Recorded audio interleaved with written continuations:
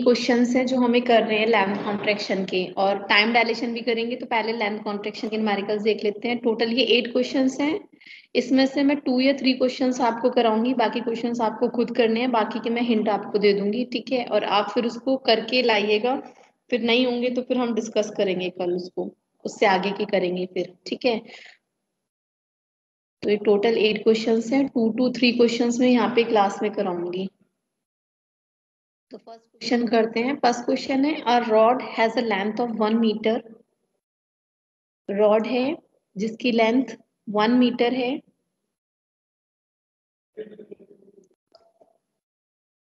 तो लेंथ दी है, यानी कि हमें एल नॉट गिवन है। That is one metre when it is in satellite moving with velocity that is velocity दिया है सैटेलाइट का। तो वी दिया है। मैम ये ट्यूटोरियल्स के क्वेश्चंस हाँ ये ट्यूटोरियल्स के क्वेश्चंस है। मैंने आपको बोला भी था करके लाइएगा और जो क्वेश्चंस नहीं होंगे उनको मुझे बताइएगा कि ये नहीं हो रहा तो स्पेशली फिर वो क्वेश्चन हम डिस्कस कर लेंगे। तो एक आध में लेंथ कॉन्ट्रेक्शन का करा रही हूँ एक आध टाइम डायलेशन का करा रही हूँ। बाकी मैं आपका अगर कोई प्रॉब्लम है तो फिर वो डिस्कस कर लेंगे, है ना? दो टॉपिक के हम, दो या तीन टॉपिक के आज करेंगे और दो या तीन टॉपिक के हम कल करेंगे, जिससे ये पूरे यूनिट के न्यूमेरिकल्स हो जाएँगे। तो आज हमारी कोशिश रहेगी लैंड कॉन्ट्रेक्शन और टाइम डायलेशन और वेरिएशन ऑफ़ मास इन तीन टॉपिक के न्यूमेरिकल्स हमारे हो जाएँ। ठीक है? और फिर एडिशन ऑफ़ वैलोसिटी और काइनेटिक एनर्जी वगैरह के रह जाएँगे, वो हम कल कर लेंगे। फिर कुछ डाउट है तो फिर वो पूछ लेंगे। तो a rod has length of one metre L naught equal to दिया है वन मीटर सैटेलाइट में रखा इसको और सैटेलाइट की वेलोसिटी दी है, v equal to half of velocity of light ठीक है? Relative to laboratory with respect to laboratory दिया है मतलब लेबोरेटरी हम एस फ्रेम कंसीडर कर सकते हैं और सैटेलाइट हमारा एक तरीके से एस डैश फ्रेम हो गया. What will be length of rod as determined by observer? अब ऑब्जर्वर कहाँ कहाँ पर है? एक बार ऑब्जर्वर सैटेलाइट में है और एक बार ऑब्जर्वर लेबोरेटरी में है। तो कोई आंसर बताना चाहेगा कि जब ऑब्जर्वर सैटेलाइट में है तो उसको रॉड की लेंथ कितनी दिखाई देगी और जब ऑब्जर्वर लेबोरेटरी में है तो उसको कितनी दिखाई देगी? जब observer satellite one metre okay good कौन है? किसने बताया आंसर मुझे? मैम तनु तनु। ठीक बताया आपने, जब ऑब्जर्वर सैटेलाइट में होगा तो उसको उसकी लेंथ वन मीटर ही दिखाई देगी, क्योंकि वहाँ पर वो उसको रियल लेंथ ऑब्ज़र्व करेगा, क्योंकि रॉड भी सैटेलाइट में रख दी है हमने और ऑब्जर्वर भी सैटेलाइट में है। जबकि लेबोरेटरी वाले ऑब्जर्वर को सैटेलाइट में जो हमने रॉड रखी है, उसको उसकी लेंथ कॉन्ट्रैक्ट होके दिखाई देगी और कॉन्ट्रैक्ट किस फैक्टर से होगी? Under root one minus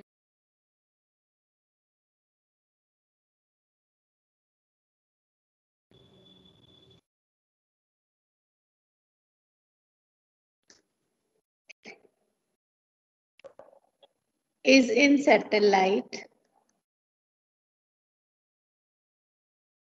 is in satellite, is at rest.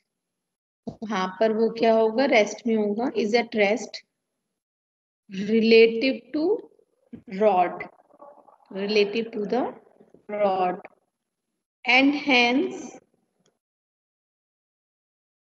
the length of rod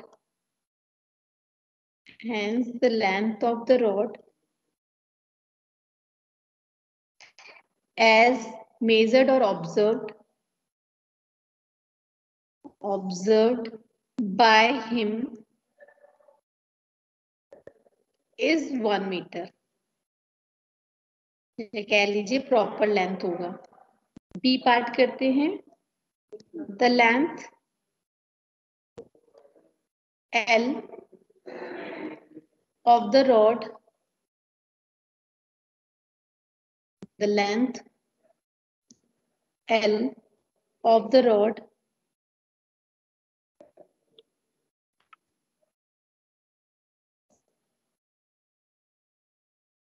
in laboratory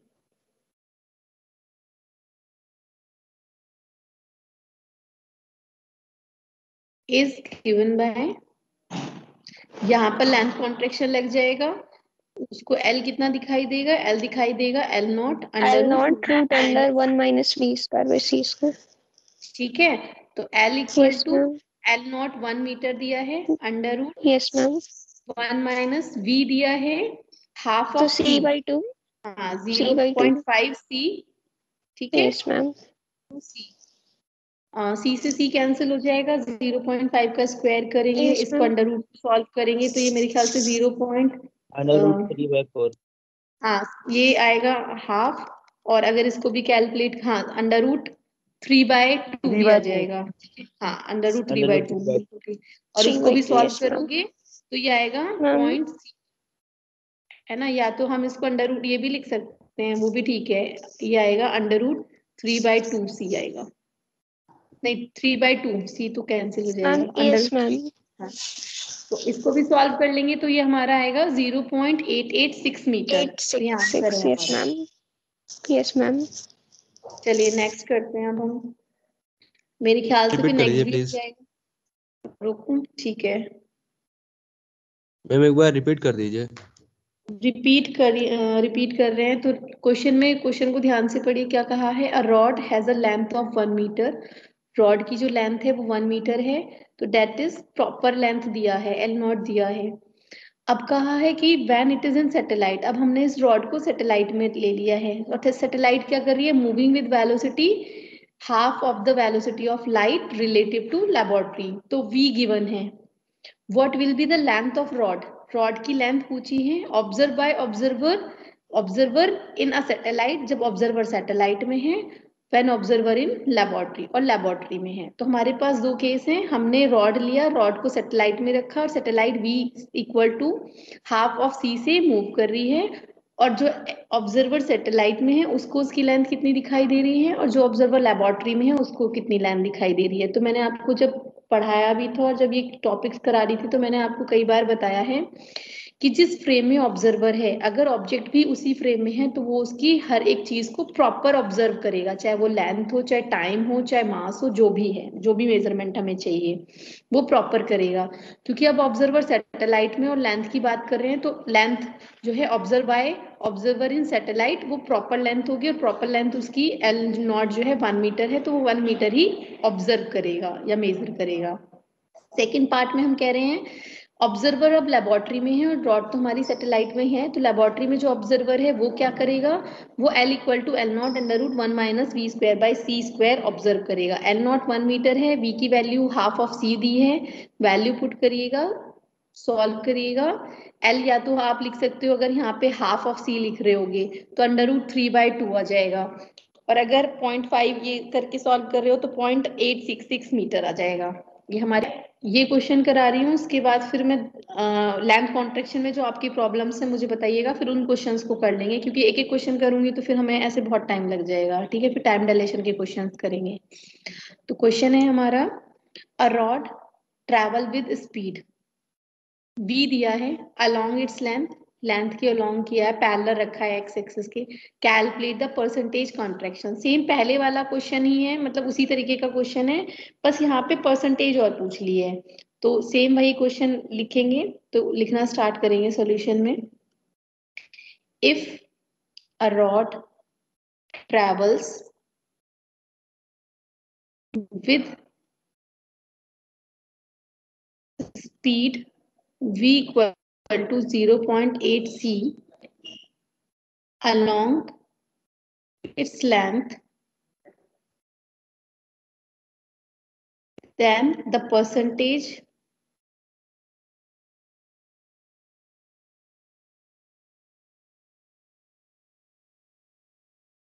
contraction आएगा L minus L Minus L naught yeah L naught minus L okay the percentage contraction L naught minus L upon L naught multiply 100 तो हमें क्या चाहिए L की value चाहिए question में L not नहीं given है तो L नॉट को हम L नॉट ही लेके चलेंगे तो we know from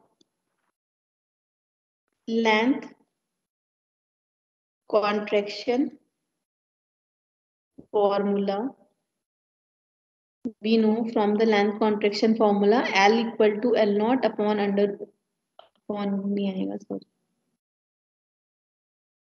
L equal to L naught under root 1 minus V square by C square. We know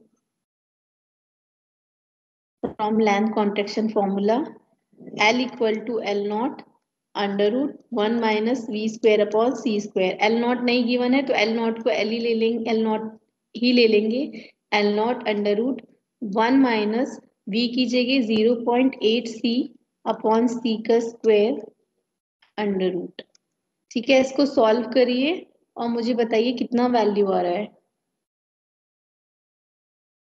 zero point eight L मैं एल कितना आ रहा है मतलब? Ma'am L is equal to 0.6 L naught. ठीक है। देखिए सबका यही आ रहा होगा। जब इसको सॉल्व करोगे तो ये आपका हो जाएगा है। पॉइंट सिक्स फोर है ना? पॉइंट सिक्स फोर हो जाएगा। ये हमारी वैल्यू आएगी L naught under root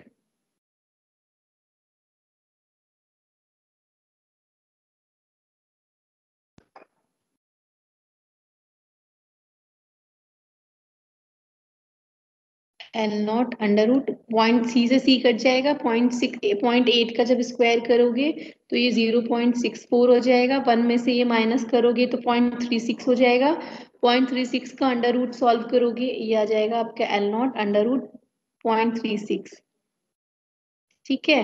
point three six को जब सॉल्व करोगे तो ये आ जाएगा zero point six of L naught ये हमने लिख रखा है ये तो ओके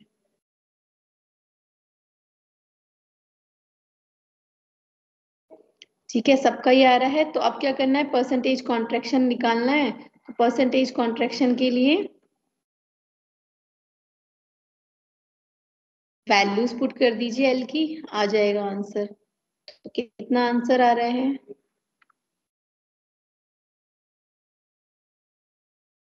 अगर सॉल्व किया होगा तो आपका आ रहा होगा।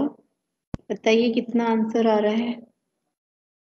ये तो है ना। Forty forty percent. बिल्कुल ठीक। तो परसेंटेज कॉन्ट्रेक्शन आ रहा है हमारा। Percentage of contraction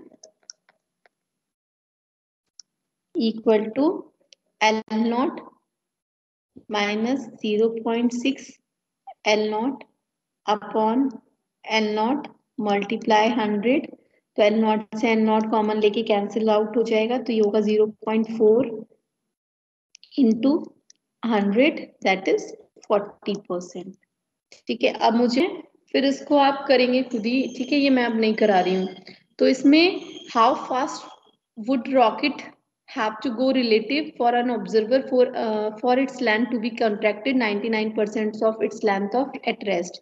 तो इसमें v पूछा है कि किस v से चलेगा? और क्वेश्चन की लैंग्वेज पढ़ने में हम थोड़ा सा कंफ्यूज हो जाते हैं। जो गिवन है वो ये गिवन है। L equal to 99 percent of L naught ये गिवन है तो इसको हम 99 अपॉन हंड्रेड L नॉट लिख सकते हैं। सेम लेंथ कॉन्ट्रेक्शन का फॉर्मूला लिखेंगे। We know L equal to L naught under root one minus v square by C square solve करेंगे तो आप वी कैलकुलेट कर लेंगे। Fine v. ठीक है? Yes ma'am calculate the percentage contraction of rod moving with velocity 0.8 C in the direction inclined at 60 degree चलिए तो इसको करते हैं। ठीक है पहले इस क्वेश्चन में देखिए कह क्या रहे हैं। कह रहे हैं हो गए सबका नहीं हुआ ना अभी किसी ने पूछा है। तो कर लेते हैं। ठीक है, फिर लेंथ की क्योंकि मैं ज़्यादा नहीं कराऊँगी, जो डाउट है लेंथ में वही कराऊँगी, नहीं तो फिर टाइम डायलेशन मेरे ख्याल से टाइम डायलेशन में भी मैंने हिंट दे दिए थे आपको तो फिर उसके आगे करेंगे। ठीक है, ये एंगल है सिक्सटी डिग्री ऐसा कुछ क्वेश्चन नहीं है। सपोज़ इसकी लेंथ है एल नॉट तो क्या करेंगे हम इसको सपोज़ अगर हमने ये फ्रेम एस डैश में रखा है एस के रिस्पेक्ट में हमें इसकी लेंथ ऑब्ज़र्व करनी है, या इसको एस फ्रेम में रखा है ठीक है तो एस डैश के फ्रेम रिस्पेक्ट में कंसीडर कर लीजिए इसको एस डैश मैम ये फ़र्स्ट क्वेश्चन ही है। नहीं फ़र्स्ट क्वेश्चन नहीं है ये फोर्थ क्वेश्चन है मेरे ख्याल से आपका है ना? नहीं मैं लेक्चर का आज का फ़र्स्ट है क्या? मैं अभी अभी आया हाँ लेक्चर का लेक्चर का बिल्कुल फ़र्स्ट है लेक्चर का फ़र्स्ट है। मैंने लेंथ कॉन्ट्रेक्शन क्योंकि आप लोगों को करा दिया था टाइम डायलेशन के भी हिंट दे दिए थे तो सिर्फ़ जो प्रॉब्लम्स है इन दोनों की वो डिस्कस करके फिर आगे करेंगे इसको है ना? ओके मैम मेरे भी है डाउट ये मैम ठीक है तो क्वेश्चन में ये है कि फ्रेम में रखा है और दूसरे फ्रेम के रिस्पेक्ट में इसकी परसेंटेज कॉन्ट्रेक्शन निकालनी है। चाहे तो इसको रेस्ट फ्रेम में रख लीजिए, चाहे मूविंग फ्रेम में।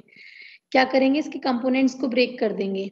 तो एक हो जाएगा L L naught cos sixty ये सिक्सटी की जगह थर्टी एंगल भी हो सकता है। दूसरा हो जाएगा एल वाई एल वाई कितना हो जाएगा? L y equal to L naught sine sixty तो इसको ऐसे ही कर लेते हैं, जैसे कॉपी में करते हैं नोटबुक में, इसको करके आना एग्ज़ाम में, उस तरीके से लिख के कर लेते हैं इस क्वेश्चन को। ठीक है? तो चलिए करना स्टार्ट करते हैं, इसको मैं अभी फ़िलहाल रिमूव कर देती हूँ और उसी तरीके से करते हैं, क्योंकि हिंट तो मैंने ये वाला हिंट तो आपको दे ही चुकी हूँ पहले भी। तो इसको कर ही लेते हैं।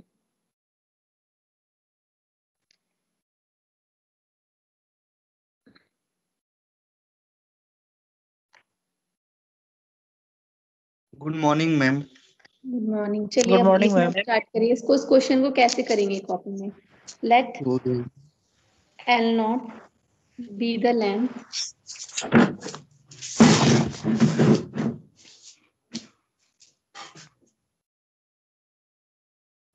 L naught be the length of rod at rest and L dash its length. L dash के लिए L ले लेते हैं। हम तो L ही लेते हैं ना तो L dash नहीं लेते। L its length. अभी मैं आपको म्यूट करके आई हूँ फिर दोबारा माइक ऑन करिए। ऐसे मत करें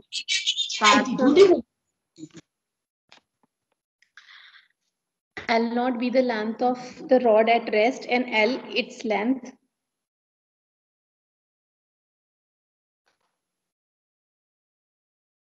When it is moving. When it is moving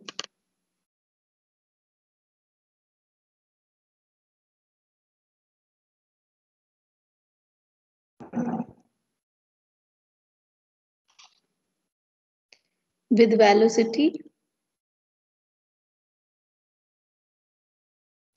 v equal to 0.8 c.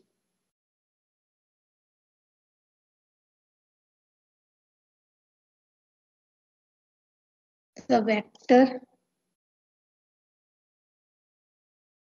L naught of the rod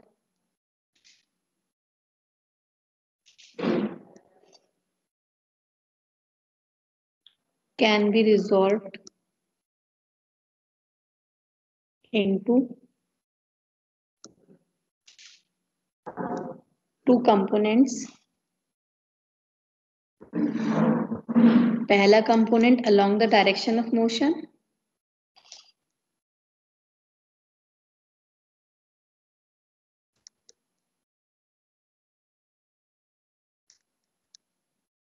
जो है एल एक्स और एल एक्स हो गया हमारा एल नॉट सिक्सटी। ठीक है? Cos 60 की वैल्यू होती है वन बाय टू तो ये हो जाएगा L naught by two L X दूसरा कंपोनेंट हमारा along the direction perpendicular direction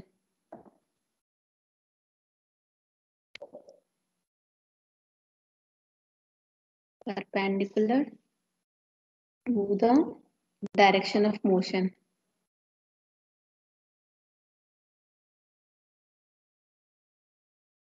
That is ly ly हो जाएगा l नॉट साइन सिक्सटी और साइन सिक्सटी की वैल्यू होती है root three by two of L naught ठीक है? अब हम क्या कह रहे हैं? जिस डायरेक्शन में मोशन होता है, सिर्फ़ उसी डायरेक्शन में लेंथ कॉन्ट्रेक्शन होता है परपेंडिकुलर डायरेक्शन में कोई लेंथ कॉन्ट्रेक्शन ऑब्ज़र्व नहीं होता। तो ये जो एल एक्स वाला डायरेक्शन है, सिर्फ़ यही कम होके दिखाई देगी एल वाई तो वही दिखाई देगी दूसरे फ्रेम से, है ना? The relativistic contraction the relativistic contraction occur occurs only along the direction of motion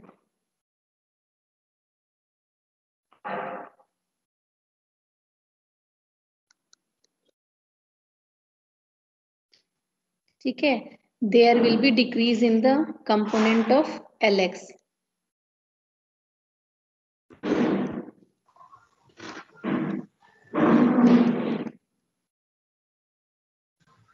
decrease in the component lx lx that is इसको हम फ़िलहाल क्या बोल देते हैं? एलेक्स डैश बोल देते हैं। दूसरे फ्रेम के रिस्पेक्ट में कुछ नोटेशन तो देनी पड़ेगी। तो एलेक्स को हम दूसरे फ्रेम से एलेक्स डैश कह देते हैं कि दूसरे फ्रेम से वो हमें डैश में दिखाई दे रहा है। That is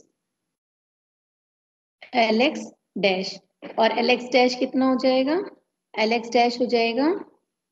L X under root one minus v square upon C square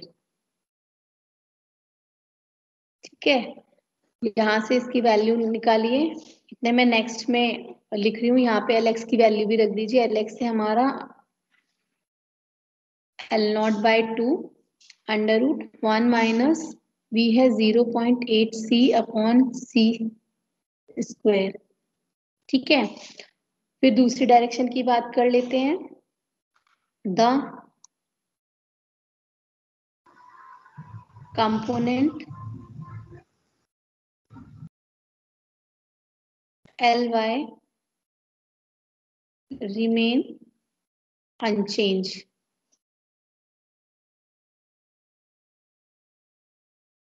that is L Y dash equal to L Y और ly है हमारा root three by two of L naught इसकी value बता दीजिए L naught की value L X dash की value कितनी आई? सॉल्व करके। ये आपका आ जाएगा एल बाय टू सी से सी कट जाएगा। पॉइंट सिक्स पॉइंट एट का जब आप स्क्वायर करेंगे तो पॉइंट सिक्स फोर आएगा। Zero point six zero point six ठीक है। ज़ीरो पॉइंट सिक्स और टू से इसको मल्टीप्लाई करेंगे तो ये zero point three of L naught हो जाएगा। ठीक है? अब हमारे पास एल एक्स डैश और एल वाई डैश दोनों आ गए। अब हमें रॉड देखनी है कि मूविंग फ्रेम से क्या दिखाई देगी। So the length of the rod so the length of the rod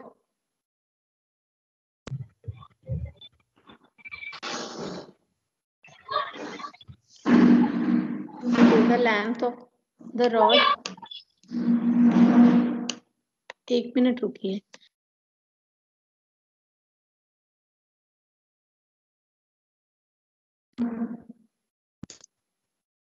So the length of the rod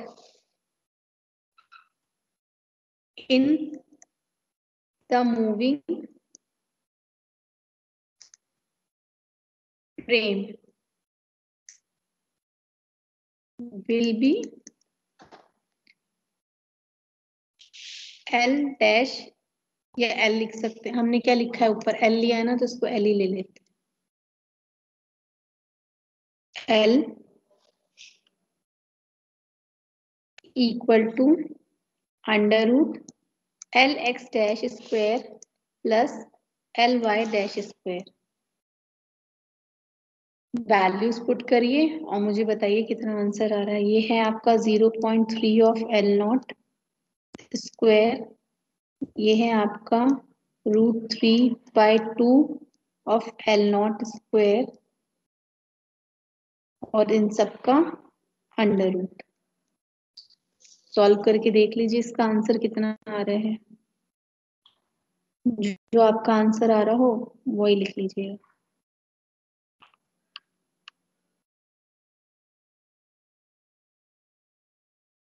ये आपका आएगा।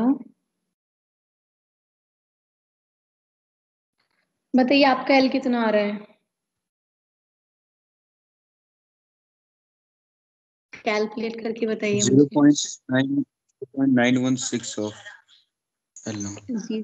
ठीक है एक मिनट रुकिए। Zero point nine two L naught zero point nine one six of L naught ये आ रहा होगा आपका। देखिए, अब इसमें पता है किसने कितना राउंड ऑफ़ किया है ना, इसके अकॉर्डिंग आंसर चेंज हो जाता है। तो ये ध्यान रखिए, थोड़ा बहुत आंसर वेरिएशन हो सकता है। मेरा भी यही आ रहा है फ़िलहाल। ठीक है? Zero point nine one six L naught तो हमें परसेंटेज कॉन्ट्रेक्शन पूछना है तो परसेंटेज कॉन्ट्रेक्शन का फॉर्मूला सेम वही है कि L naught minus L upon L naught into hundred तो यहाँ से आप परसेंटेज कॉन्ट्रेक्शन कैलकुलेट कर लेंगे। तो परसेंटेज एक मिनट पहले ही पूरा कर लेते हैं फिर आप देख लीजिएगा। Percentage contraction in length equal to L naught minus L L naught minus L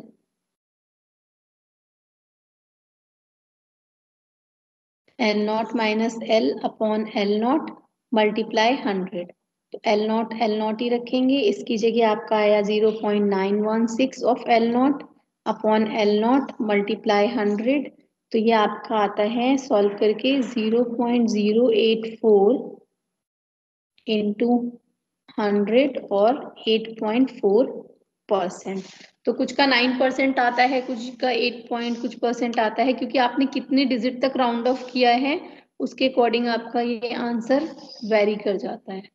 हाँ, वो इससे बाद में है। हाँ। सर्कल वाला भी। कौन सा? नहीं इस इलिप्स ही है। वो 13 क्वेश्चन हाँ। एलिप्स वाला है ना? चलिए तो फिर इसको और कर लेते हैं।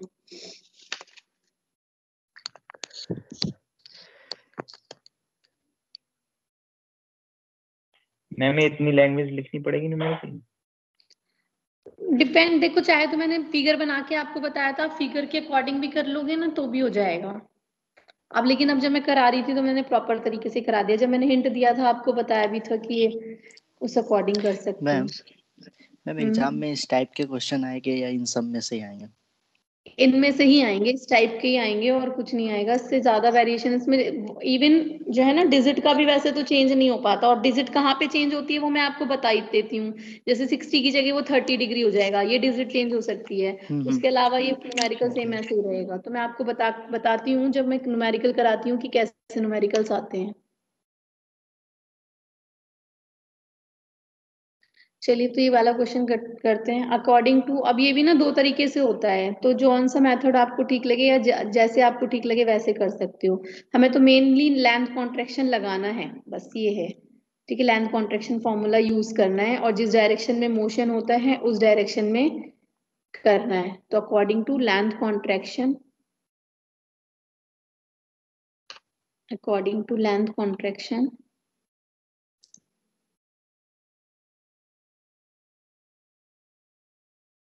ठीक है? तो हमारी इक्वेशन ये है, हमें पता है जिस डायरेक्शन में मोशन होता है, उस डायरेक्शन में लेंथ कॉन्ट्रैक्ट होती है और हम ये मान के चलते हैं कि हमारा जो मोशन है वो एक्स डायरेक्शन में हो रहा है। तो यानी कि वाली जो डायरेक्शन है, इसमें लेंथ कॉन्ट्रेक्शन होगा और वाई वाला जो है चेंज नहीं होगा। तो हम इसको क्या लिख सकते हैं? एक्स जो है कैसा दिखेगा? X dash under root one minus V square upon C square और वाई में कोई चेंज नहीं दिखेगा Y equal to Y dash so the equation of circle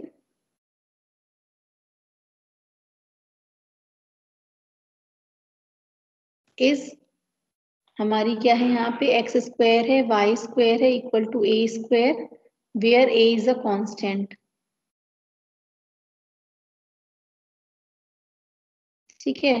तो हम x की जगह क्या लिख सकते हैं? X dash under root one minus B square upon C square y की जगह y dash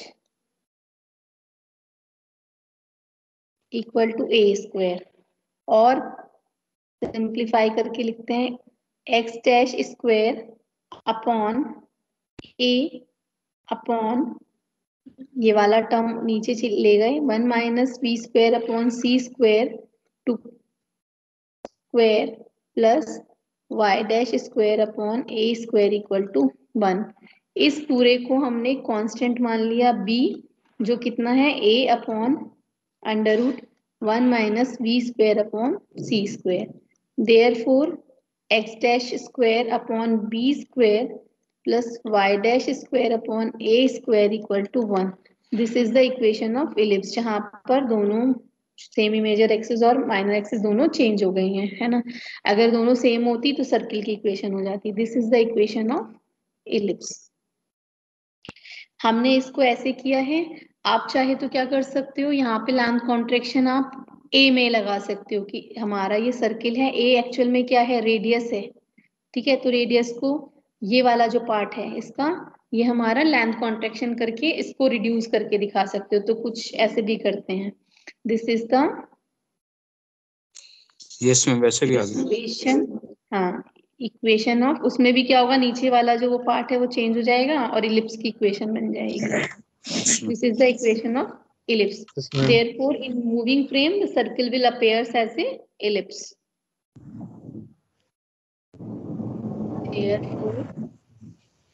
in moving frame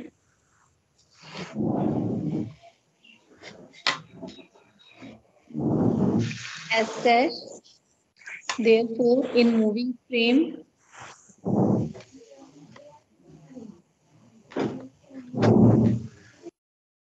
Therefore, in moving frame S dash, the circle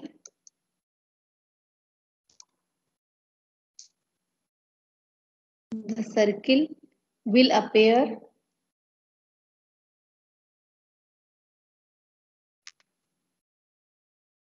as an ellipse.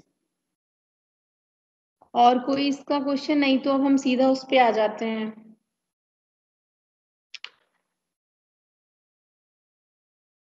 Time dilation पे। अब ऐसा ना हो कि सारे क्वेश्चन मुझसे ही करा दो। तीन चार तो उस दिन कर दिए थे मैंने दो मैंने आज कर दिए। आठ क्वेश्चन है पता लगा क्लास में सारे करा लिया आपने हैं? यस मैम हाँ चलिए तो फिर अब टाइम डायलेशन के कर लेते हैं। टाइम डायलेशन में भी मेरे टाइम डायलेशन में भी मैंने सारे करा लिए थे। क्या देखना है आपको बताइए? मैम स्लाइड वापस थोड़ा-। बस।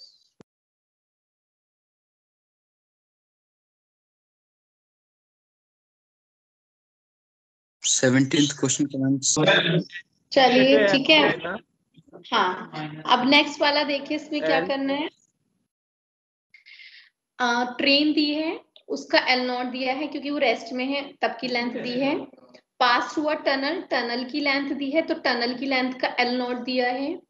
The train is moving with uniform velocity train की वेलोसिटी गिवन है 2.4 point four into ten to power eight metre per second towards the tunnel tunnel के पास आ रही है। Find the length of train and tunnel tunnel और train दोनों की लेंथ फाइंड करनी है. Observe by observer observer at tunnel and at train तो एक बार ऑब्जर्वर को टनल में रखना है और एक बार ऑब्जर्वर को ट्रेन में रखना है और लेंथ कॉन्ट्रेक्शन और फॉर्मूला बताना है. तो ये तो ऑब्वियस है कि जब ऑब्जर्वर टनल में होगा तो टनल की लेंथ एक्चुअल दिखाई देगी और जब ऑब्जर्वर ट्रेन में होगा तो ट्रेन की लेंथ एक्चुअल दिखाई देगी.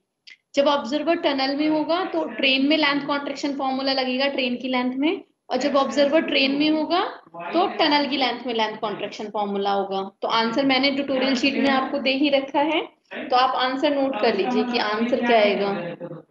ठीक है? वेन ऑब्जर्वर फ़र्स्ट केस है टनल में है। ठीक है? तुम आंसर लिख देती हूँ। When observer is in tunnel जब ऑब्जर्वर टनल में है। तो जब ऑब्जर्वर टनल में है तो टनल की लेंथ एक्चुअल दिखाई देगी। टनल लेंथ उसको एक्चुअल दिखाई देगी दैट इज़ 125 मीटर और ट्रेन की लेंथ उसको लेंथ कॉन्ट्रेक्शन दिखाई देगा। वहाँ पे लेंथ कॉन्ट्रेक्शन फॉर्मूला लगाएँगे तो ये आपका आ जाएगा 150 की जगह 90 मीटर ठीक है? बी पार्ट में जब ऑब्जर्वर ट्रेन में है उस केस में टनल की लेंथ में लेंथ कॉन्ट्रेक्शन फॉर्मूला लगाएँगे वो आएगी 175 मीटर और ट्रेन की लेंथ एक्चुअल ही दिखाई देगी दैट इज़ कितनी दे रखी है? 150 मीटर मैंने उल्टा लिख दिया शायद आंसर ट्रेन की लेंथ 150 है। ना? और टनल की लेंथ सेवेंटी फाइव ठीक है। हाँ तो ठीक है। सही है। हाँ जब ट्रेन की लेंथ में लेंथ कॉन्ट्रेक्शन लगाएँगे तो यहाँ पे L equal to one fifty under root one minus V square by C square और v की जगह टू ठीक है? और जब यहाँ पे लेंथ कॉन्ट्रेक्शन लगेगा एल इक्वल टू तो ये आएगा 125 under root one minus V square upon C square ठीक है? तो इसको लैंग्वेज में लिख लीजिएगा कि ऑब्जर्वर को हमने टनल में रखा जैसे हमने फ़र्स्ट क्वेश्चन में लैंग्वेज लिखी थी सेम वैसी ही लैंग्वेज यहाँ पे दोनों पार्ट्स में लिखी जाएगी। टाइम डायलेशन भी कंप्लीट हो जाए। टाइम डायलेशन के न्यूमेरिकली फ़र्स्ट न्यूमेरिकल तो हमारा सेम जो मैंने एक्सपेरिमेंटल वेरिफिकेशन कराया था। मैम स्लाइड दिखा दीजिए पीछे वाला। दिखा दीजिए पीछे वाला।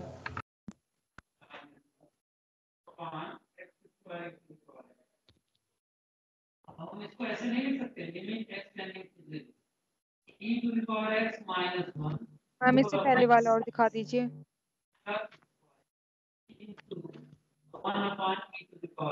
इसमें तो आपको सॉल्व करना है ये मैंने सॉल्व नहीं किया ये सिर्फ़ आपको हिंट दिया था। थैंक यू मैम चलिए तो उसको कर लेते हैं। टाइम डायलेशन के हिंट और देख लीजिए। तो ये क्वेश्चन सेम वैसा है जैसे मैंने एक्सपेरिमेंटल वेरिफिकेशन किया था प्रॉपर लाइफ दिया है म्यूजोन का मतलब डेल्टा टी नॉट दिया है। Calculate the mean life of म्यूजोन moving with velocity v given है। ठीक है?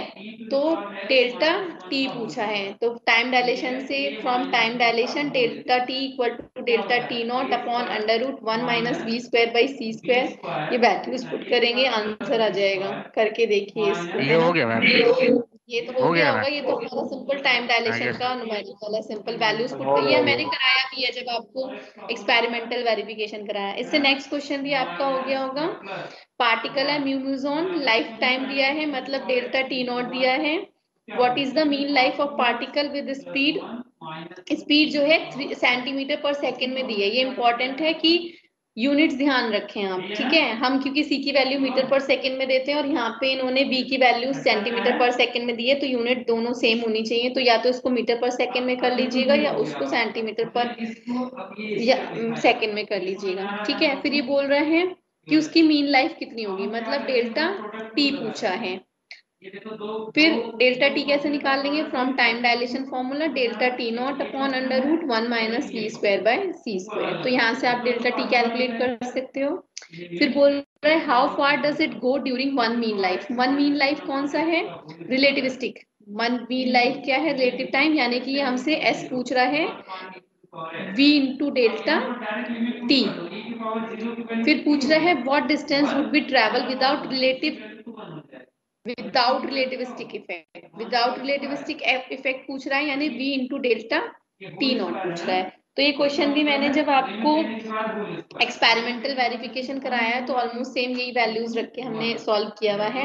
तो डेल्टा टी हमारा आता है, अगर वहाँ पे याद हो 3.3 point three into ten to power minus एक से एट सेकेंड के अराउंड आता है हमारा।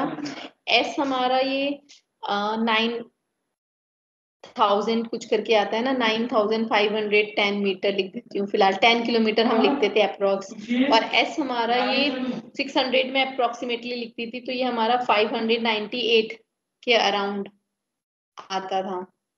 ठीक है? तो ये इसके आंसर है इसको सॉल्व करिएगा। ये भी डायरेक्ट वैल्यूज़ पुट करते ही। है मेन इंपॉर्टेंट क्वेश्चन है ये क्लॉक वाले। ठीक है? और इसी तरीके के क्वेश्चन ज़्यादा आते हैं। A clock showing correct time when at rest loses one hour in a day बस यहाँ पे ये लैंग्वेज चेंज होती है।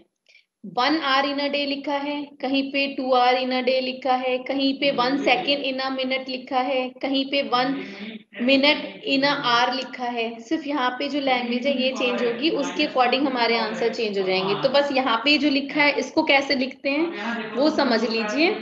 फ्री क्वेश्चन हो जाते हैं। ठीक है, ये हमारे सारे टाइम डायलेशन के क्वेश्चन है। तो क्वेश्चन में क्या कह रहा है?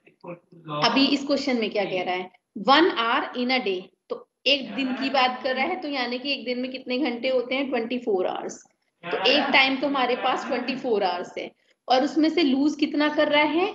वन आवर तो वन आवर लूज करने का मतलब क्या है? दूसरी घड़ी से हमको तेईस घंटे दिखाई दे रहे हैं। ठीक है? हमें पता है टाइम डायलेशन का formula delta T equal to delta T naught upon under root one minus V square upon C square होता है।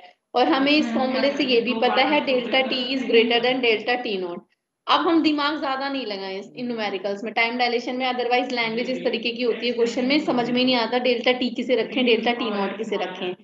बस हमें ये पता है delta T is greater than delta T naught तो इनमें से कौन सी वैल्यू बड़ी है? 24 फोर आवर्स तो यानी कि ये तो हमारा हो गया डेल्टा टी और 23 थ्री आवर्स हो गया हमारा डेल्टा टी नॉट ठीक है? तो इस, इन क्वेश्चंस में बस ये ध्यान रखना है, ज़्यादा वाली वैल्यू हमारी डेल्टा टी की होगी और कम वाली वैल्यू हमारी डेल्टा टी नॉट की होगी। अगर आप कंसेप्ट के हिसाब से जाने लगोगे तो थोड़ा सा कंफ्यूज हो जाओगे इसके अंदर। ठीक है? वैल्यूज़ पुट करके बी कैलकुलेट कर लेंगे। अभी इसी लैंग्वेज में मैं वन आर की जगह लिख दूँ four minute in a day तो यानी कि ये आवर्स को हमें मिनट में चेंज करना पड़ेगा पहले तो। तो 24 की बात कर रही हूँ तो 24 फोर इंटू सिक्सटी मिनट में चेंज करोगे? अब फोर मिनट लूज करा रही हूँ यहाँ जो भी वैल्यू आएगी उसमें से फोर मिनट कम करके यहाँ लिख लेंगे। तो लैंग्वेज के अकॉर्डिंग हम वैल्यूज़ लिखेंगे है ना? तो पहले सी क्वेश्चन को कर लेते हैं फिर नेक्स्ट वाला क्वेश्चन देख लेते हैं और फिर एग्ज़ाम में यही ध्यान रखना कि वो कितने मिनट में क्या कई बार क्या होता है आपने यहाँ देखा कि कितना लिखा है वन मिनट लिखा है।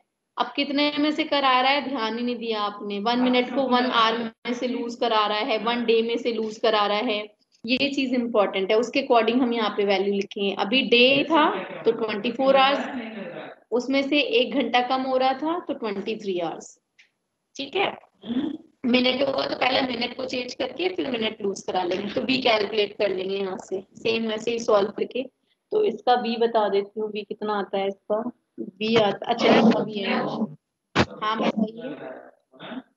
मैम जैसे मैम आपने बताया कि मैम आर की जगह अगर सेकंड या मतलब मिनट दे रखा है तो हाँ, मैम तो उसमें डेल्टा टी और तो मैम डेल्टा टी और डेल्टा टी नॉट की वैल्यू उसी तरीके से याद रखेंगे कि कितना कौन सी टर्म ज़्यादा है। जैसे नेक्स्ट वाला क्वेश्चन कर लेते हैं एक बार। A clock keeps correct time what will be the speed इसमें भी वी पूछा है, किस स्पीड से चल रहा है? Move relative to an observer it may appear lose four minute in twenty four hours अभी देखो मैं ट्वेंटी फोर आवर्स में कर रही हूँ, ये इसकी जगह वन आवर में भी हो सकता है, ठीक है? तो उस अकॉर्डिंग हम ये ध्यान रखते हैं। तो अभी 24 फोर आवर्स है तो मैंने यहाँ 24 ही लिख लिया। अब मिनट लूज करा रहा है तो यानी कि पहले मुझे इसको मिनट में चेंज करना पड़ेगा। तो ये हो जाएगा one four four zero sixty से मल्टीप्लाई करोगे। कितना लूज करा रहा है? फोर मिनट तो फोर मिनट इसमें से कम कितना होगा? Four one four three six ठीक है? अब हमारे पास ये दो वैल्यू है। ध्यान से देख लीजिए, एक ट्वेंटी फोर आवर्स है तो twenty four hour into sixty तो वन फोर फोर ज़ीरो उसमें से कितना लूज हो रहा है? Four minute four minute lose हो रहा है यानी वन फोर थ्री सिक्स। तो ये दो वैल्यू हैं। एक को हमें टी लिखना है, एक को डेल्टा टी नॉट लिखना है तो ज़्यादा वाले को डेल्टा टी लिखते हैं, कम वाले को डेल्टा टी नॉट। तो डेल्टा टी है यहाँ पे वन फोर फोर ज़ीरो और डेल्टा टी नॉट हो जाएगा वन फोर थ्री सिक्स। अगर इसी लैंग्वेज में मैं लिख देती lose four minute in one hour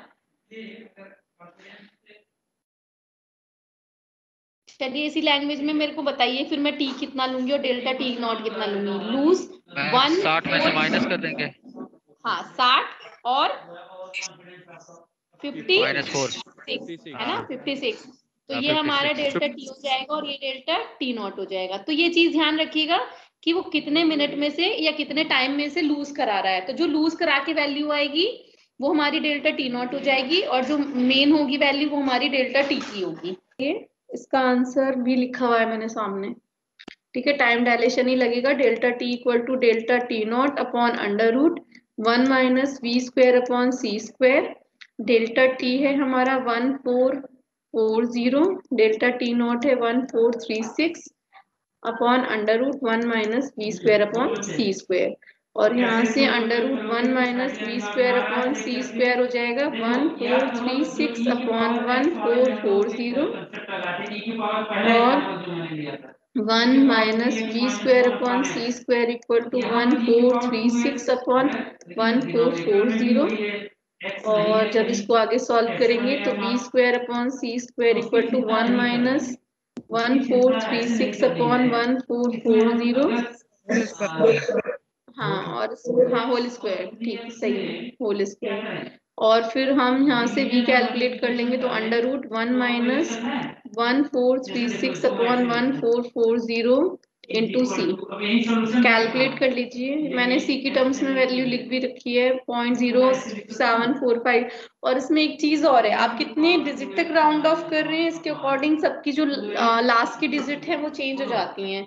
but जब हम ऑर्डर की बात करते हैं तो ऑलमोस्ट सेम ऑर्डर आता है। जैसे आप सी की वैल्यू रखोगे और मल्टीप्लाई करोगे ना तो सबका ऑलमोस्ट सेम ऑर्डर आएगा, जो भी वैल्यू है।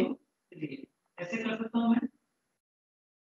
अब इसका फ़ायदा ठीक है तो जैसे ये टेन की पावर सेवन के ऑर्डर का आएगा चलिए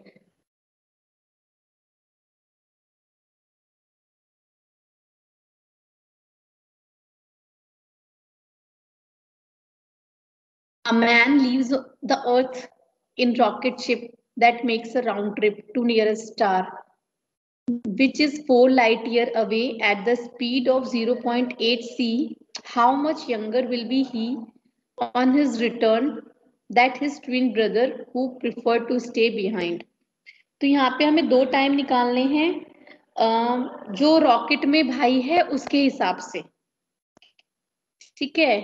कि उसको कितना टाइम लग रहा है और जो है, जो अर्थ पे भाई है उसको कितना लग रहा है। दो ऑब्जर्वर हैं तो दोनों के अकॉर्डिंग हमें टाइम देखना पड़ेगा कि वो कितना टाइम स्टे करके आया। ठीक है? फोर लाइट ईयर अवे है तो डिस्टेंस दिया है। राउंड ट्रिप कर रहा है तो मतलब गया है, फिर वापस आया है।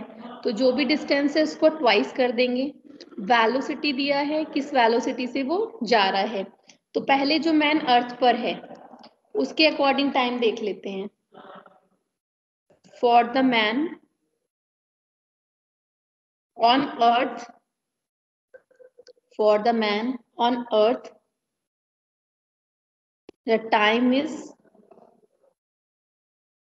delta t equal to two times of four और हमें ईयर में आंसर चाहिए तो लाइट को भी हम चेंज कर लेंगे, है ना? सिर्फ़ इसको ईयर में रहने देंगे। तो four into c year upon जिस वेलोसिटी से मूव कर रहा है, पॉइंट एट सी। सी से सी कैंसिल हो जाएगा। Eight upon zero point eight, that is ten year. तो जो मैन अर्थ पर है, उसको दस साल रहता है वो, उसको ऐसा लगता है ये जो आदमी है, जो घूम कर आ रहा है, जो उसका भाई है, वो दस साल स्पेस में रहकर आया। For the man for the man on the rocket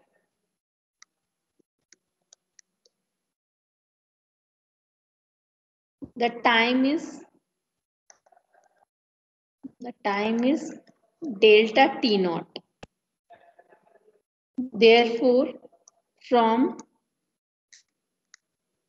time dilation therefore therefore from time dilation delta t equal to delta t naught upon under root one minus b square upon c square, और delta t naught equal to delta t under root one minus b square upon c square. Values रखिए। Answer आ जाएगा आपका।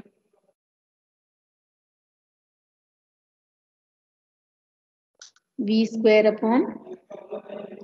square ten under root one minus zero point eight c upon c to whole square c से c cancel हो जाएगा point eight point eight का square करेंगे point six four one में से माइनस करेंगे पॉइंट थ्री पॉइंट और जब हम इसको करेंगे तो आ जाएगा ten into zero point six और सिक्स ईयर तो जो मैन रॉकेट में रहा, वो छह साल रहा। उसको ऐसा लगा वो छह साल रह कर आया है। जो अर्थ पर मैन है, उसको लगा वो दस साल रह लिया। तो therefore therefore the man therefore the man on the rocket therefore the man on the rocket will be younger, will be younger by 10 minus 6 equal to 4 year. ठीक है, इस क्वेश्चन में अगर कुछ चेंज होगा तो डिस्टेंस चेंज होगी कि कितनी डिस्टेंस ट्रेवल करके आया या किस स्पीड से ट्रेवल करके आया? यही चेंज हो सकता है, बाकी और कुछ चेंज इसमें होगा नहीं, ठीक है? तो अगर ये क्वेश्चन कर लिए हैं तो फिर मैं नेक्स्ट क्वेश्चन कराती हूँ।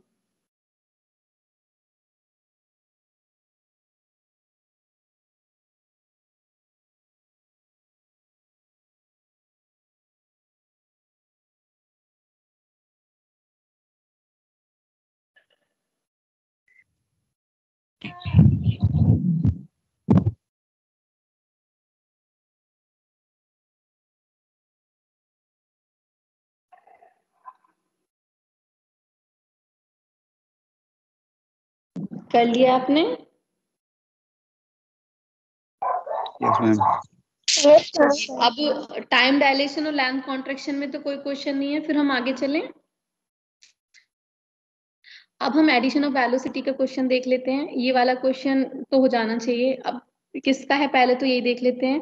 A particle has velocity u dash दिया है तो u x dash u y dash and u z dash दिया है। In coordinate system moving with velocity v given है, किस वेलोसिटी से मूव कर रहा है? To laboratory along positive x axis find u u find करना है इन लेबोरेटरी फ्रेम तो हमें u फाइंड करना है तो ये वाई एंड यू जेड की वैल्यू गिवन है। फॉर्मूला आपको पता होना चाहिए कि हमें इसमें गैलियन से निकालना है कि एडिशन ऑफ़ वेलोसिटी से निकालना है। तो v से पता लग गया पॉइंट एट सी से मूव कर रहा है मतलब हमें एडिशन ऑफ़ वेलोसिटी से निकालना है इसमें। तो यू एक्स इक्वल टू हमने एडिशन ऑफ़ वेलोसिटी में एक्सप्रेशन निकाले हैं। तो u x equal to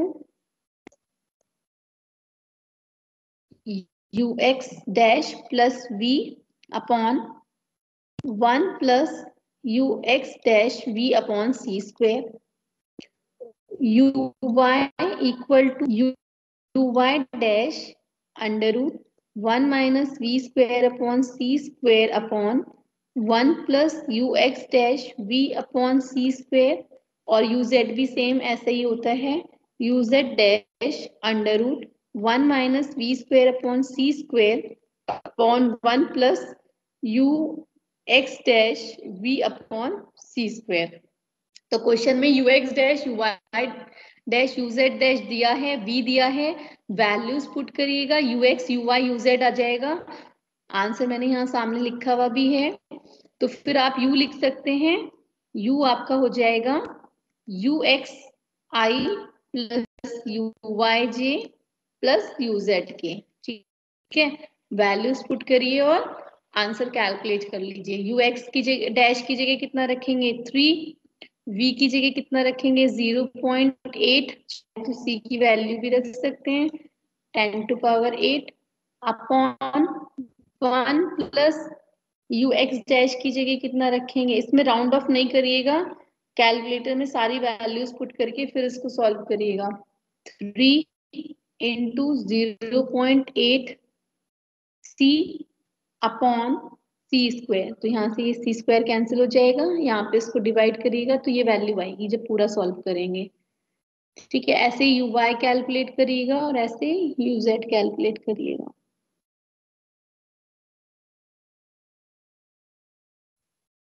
बल्कि ये नीचे वाली टर्म तो सब में कॉमन है तो एक ही बार वैल्यू कैलकुलेट कर लीजिएगा तो सब में फिर वही सॉल्व कर सकते हैं। ठीक है? चलिए नेक्स्ट क्वेश्चन करते हैं। काशी का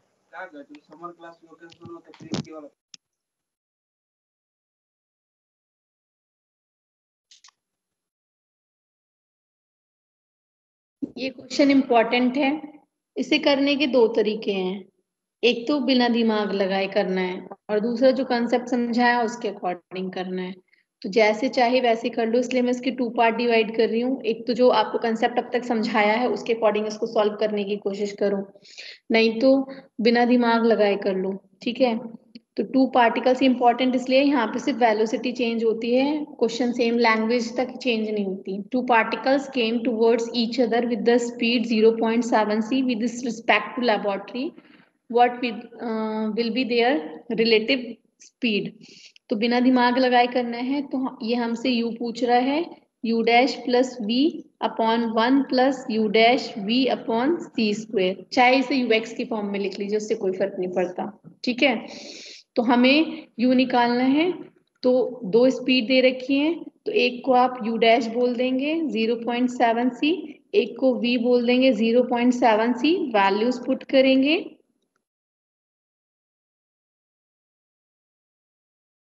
0.7 c into zero point seven c upon c और इसको सॉल्व करेंगे तो ये आ जाएगा आपका 1.4 c upon 1.49 c square cut चुका होगा तो 1. पॉइंट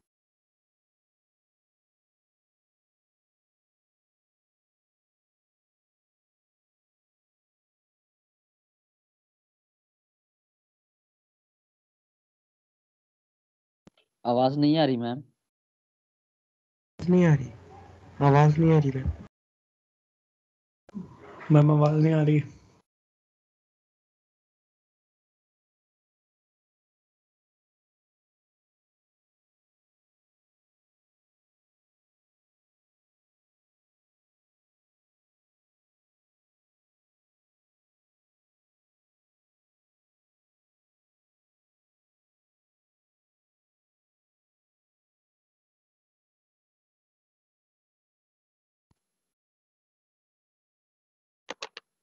चलिए आ गया नेट चलिए, देखिए।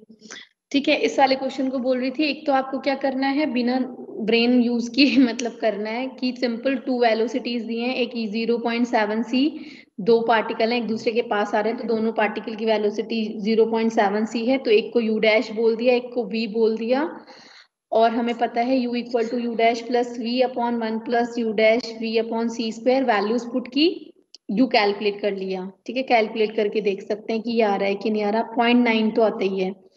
दूसरा जो कंसेप्ट अब तक समझाया है, उसके अकॉर्डिंग इसको हम करते हैं तो क्या कह रहा है कि लेबोरेटरी है लेबोरेटरी हमारा एस फ्रेम है। एक फ्रेम एस डैश है, जो वी वेलोसिटी से 0.7 सी वेलोसिटी से मूव कर रहा है। ठीक है?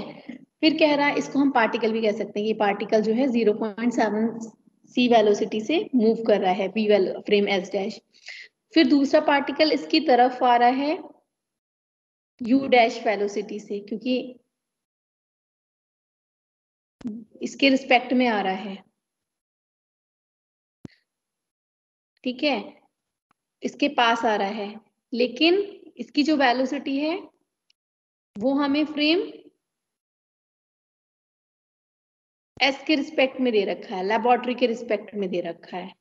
तो u गिवन है कि इसके पास आ रहा है u और u डैश वेलोसिटी से और u गिवन है क्योंकि इसकी तरफ़ आ रहा है तो 0.7 c वेलोसिटी से। ठीक है डायरेक्शन दोनों वेलोसिटी की अपोजिट है, तभी तो एक दूसरे के पास आएँगे। तो u गिवन है, v गिवन है, u डैश कितना होगा? इन दोनों की आपस में रिलेटिव वेलोसिटी क्या होगी? तो u डैश पूछा है। तो इसको हम फिर क्या करेंगे? इनवर्स ट्रांसफॉर्मेशन लिखेंगे, इस इक्वेशन से इनवर्स लिखेंगे तो इनवर्स कितना हो जाएगा? u dash equal to u minus v upon one minus u v upon c square ठीक है? तो यहाँ पे वैल्यूज़ पुट कर लीजिएगा। माइनस में आंसर आएगा। माइनस सिर्फ़ ये बताता है कि उसकी वेलोसिटी अपोजिट डायरेक्शन में उसको लग रही है। ठीक है? तो u की वैल्यू कितनी रखेंगे? u है हमारा 0.7 c माइनस v है 0.7 c upon one minus minus plus 0.7 c into zero point seven c upon c square तो यहाँ से भी सेम यही आंसर आएगा, बस माइनस में हो जाएगा ये आंसर माइनस सिर्फ़ डायरेक्शन इंडिकेट करता है।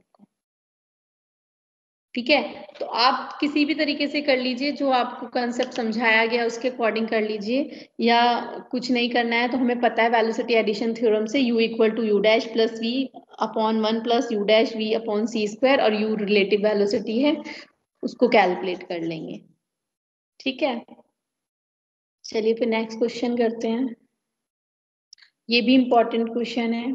ये तो हो जाना चाहिए, किया था आप लोगों ने ये? ये आप लोगों ने किया है कि नहीं किया है? नो मैम करना चाहिए था तो इजी है इसको ट्राई करते तो कम से कम ये रहता कि वेलोसिटी एडिशन थ्योरम के सारे क्वेश्चन क्लास में नहीं कराने पड़ रहे। ठीक है?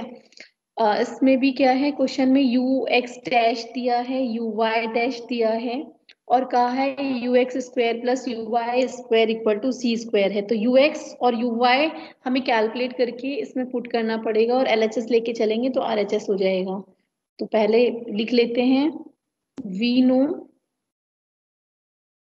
u x equal to इसको आप सॉल्व करिएगा। मैथमेटिकली मैं हिंट दे रही हूँ, ठीक है? साथ साथ करिएगा। यू एक्स होता है हमारा u x dash plus v upon one plus u x dash v upon c square u y होता है आपका u y dash under root one minus v square upon c square upon one plus u x dash v upon c square ये from velocity addition theorem से है हमारा। ठीक है we know from velocity addition theorem ठीक है? You और u Y आप यहाँ से कैलकुलेट कर लीजिएगा। फिर आप क्या लिखेंगे? Given u x square plus u y square equal to c square तो यहाँ से एल एच एस लेके चलिएगा। यू एक्स स्क्वायर और यू वाई की वैल्यू पुट करिएगा। मैथमेटिक्स है, स्क्वायर करिएगा जो कॉमन है उसको कॉमन ले लीजिएगा, जो कैंसिल हो रहा है उसको कैंसिल कर लीजिएगा। मैथमेटिक्स लगाइए, थोड़ी टिग्नोमेट्री लगाइए, सॉल्व करिए और आर एच एस आ जाएगा आपका। तो यू एक्स आपका कितना आ रहा है? यू एक्स है यू एक्स डैश की वैल्यू कितनी होगी? C, cos five, plus v upon one plus c cos five into v upon c square u y कितना आएगा? यू वाई है। C sine five under root one minus v square upon c square upon one plus c cos five into v upon c square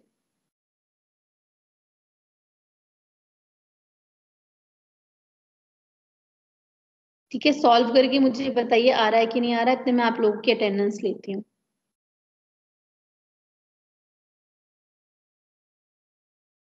इसको solve करिए hello ma'am हाँ। बताइए। Hello ma'am ये हाँ, test सुन में numericals और theory कितने ratio में आते हैं? बेटा दो तो न्यूमेरिकल करने के लिए आते हैं बाकी थ्योरी वाला पार्ट होता है। मतलब कितने मार्क्स के आ जाते हैं ma'am numericals six to eight thirty marks के उसमें टेस्ट हाँ थर्टी मार्क्स में सिक्स टू एट मार्क्स के आपके न्यूमेरिकल्स होते हैं। ओके मैम और कुछ अगर पैटर्न चेंज होगा तो मैं आप लोगों को बता दूँगी। मैम कौन सा कैलकुलेटर लेना है? हाँ। बोलिए। हाँ साइंटिफिक कैलकुलेटर लेना लेना है है? आपने मैंने आपसे बोला भी था कि मैथ्स वाले अपने टीचर से पूछ लीजिएगा कौन से सीरीज़ का लेना है। इसको करना स्टार्ट करिए इतने मैं अटेंडेंस लेती हूँ आप लोगों की। ठीक है? यू एक्स आ गया यू वाई आ गया इनका स्क्वायर करिए और ऐड करके मुझे बताइए कितना आ रहा है answer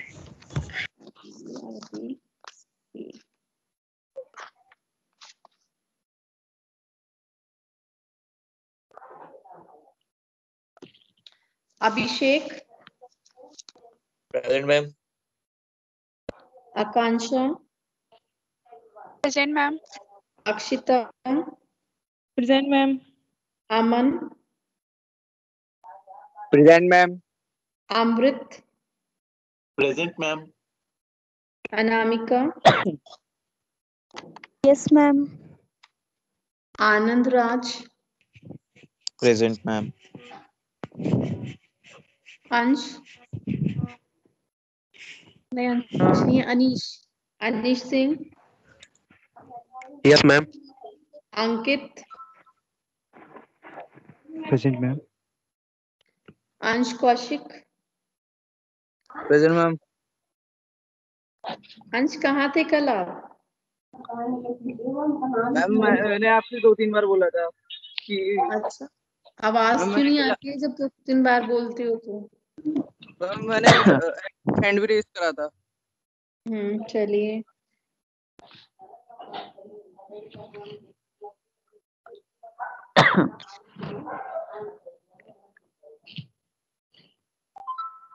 Anushka. Archi. Ma'am. Arunima. Present Ashwani.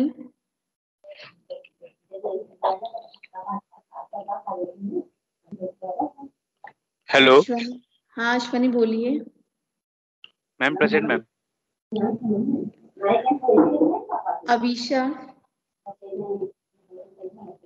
Present ma'am Devansh.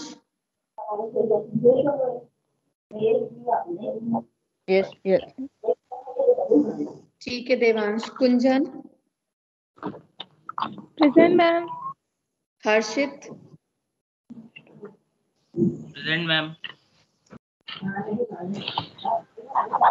Hasir Present, ma'am. Himanshu present ma'am Afzal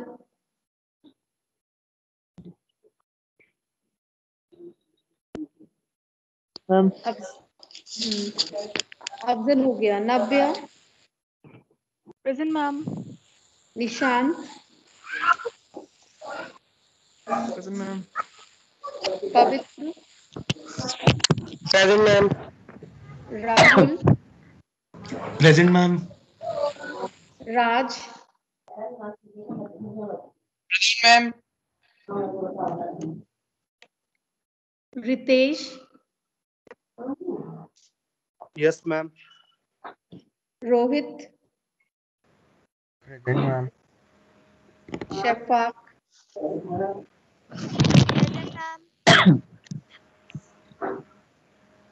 Shailesh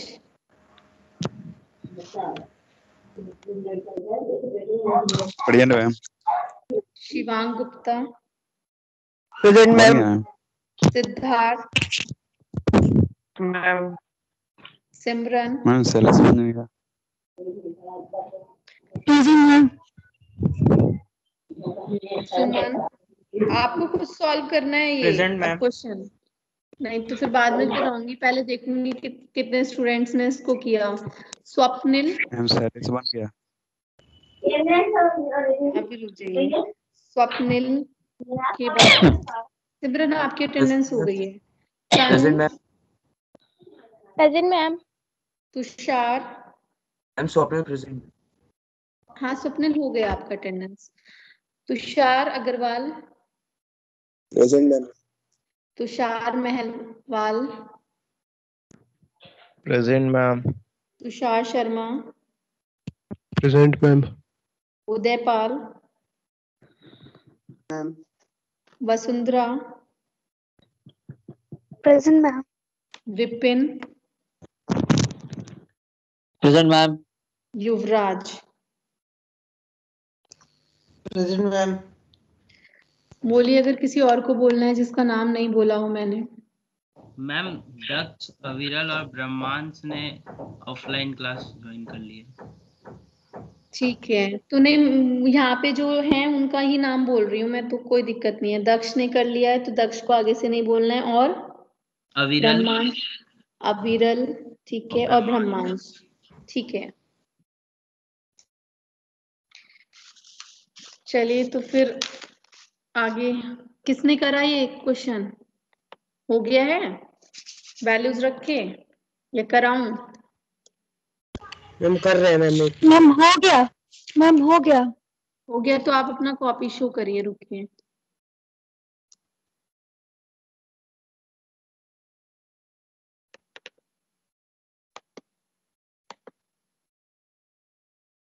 जिसका हो गया वो कॉपी शो करिए, नहीं, अगर नहीं होगा तो फिर मैं क्लास में कराऊँगी। ठीक है? आपको स्क्वायर करना है और फिर ऐड करके जो कैंसिल आउट हो रहा है उसको कैंसिल करिए। अगर कैंसिल नहीं हो रहा है, कुछ कॉमन आ रहा है कॉमन लीजिए सॉल्व करिए। आपका आंसर सी स्क्वायर आ जाना चाहिए। एलएचएस लेके चलिए और आरएचएस आपका आ जाना चाहिए।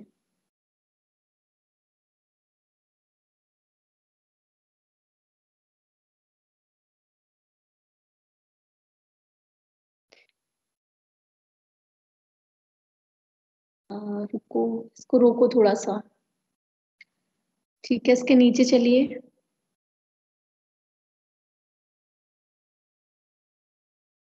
ठीक है, यहाँ पे आपने इसको ठीक किया। एक मिनट रोक के रखो उसको